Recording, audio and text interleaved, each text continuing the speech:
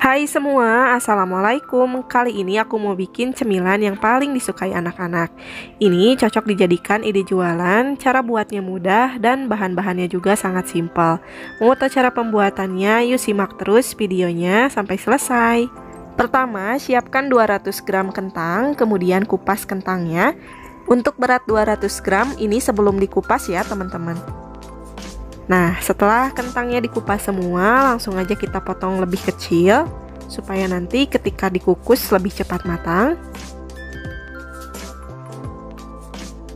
Setelah dipotong semua, kita cuci bersih kentangnya, kemudian masukkan ke dalam kukusan yang sudah panas. Kita kukus kentangnya sampai matang ya, kira-kira sekitar 20 menitan.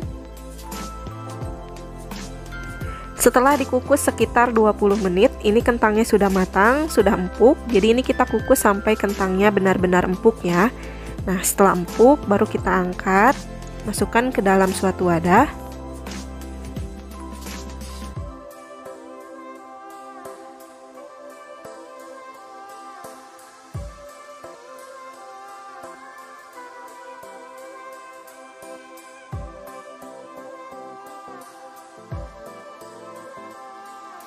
Selagi panas, haluskan kentang menggunakan garpu atau boleh juga menggunakan ulekan ya.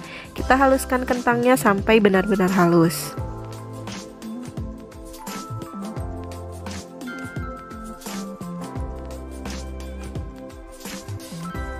Nah, ini kentangnya sudah halus. Selanjutnya tambahkan 4 sendok makan tepung terigu, 2 sendok makan tepung tapioka, dan 1 butir telur. Lanjut, kita aduk dulu semuanya hingga tercampur.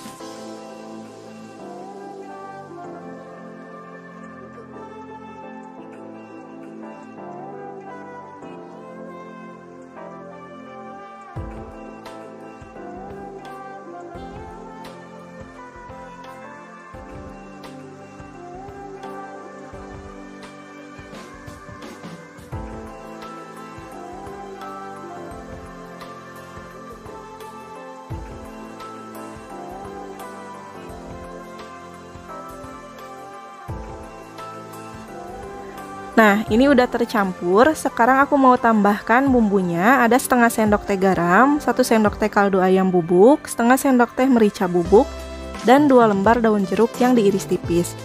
Lanjut, kita aduk semuanya sampai tercampur.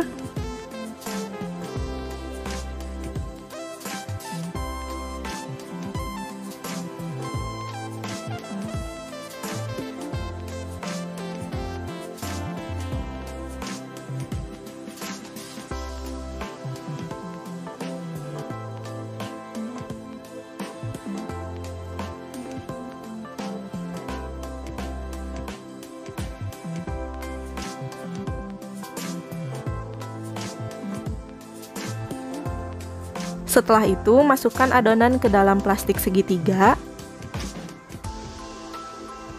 Setelah dimasukkan semua, langsung aja kita ikatkan.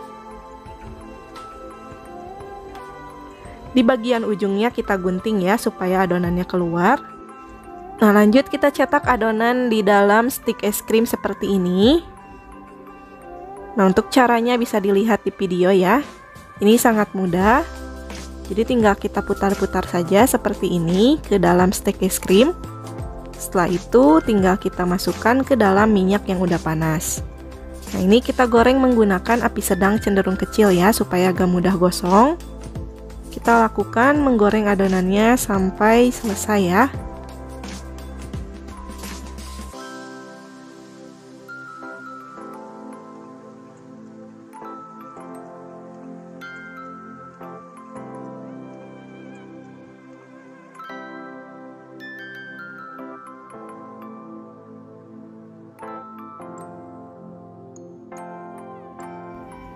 Nah, ini sudah kuning kecoklatan. Kalau yang udah kuning kecoklatan seperti ini, tinggal diangkat dan ditiriskan. Ini hasilnya setelah digoreng ya, teman-teman. Untuk dijual bisa dikemas menggunakan mika seperti ini. Satu mika isinya 3 piece. Tambahkan juga saus sambal ya supaya rasanya lebih enak. Untuk harga permikannya ini bisa dijual sekitar 5 ribuan atau sesuaikan aja dengan modal yang digunakan. Kalau mau dijual satuan, ini bisa dijual seribuan ya teman-teman atau sesuaikan aja dengan modal. Untuk rasanya ini enak banget ya teman-teman dijamin anak-anak suka. Ini bisa dijual di sekolahan SD.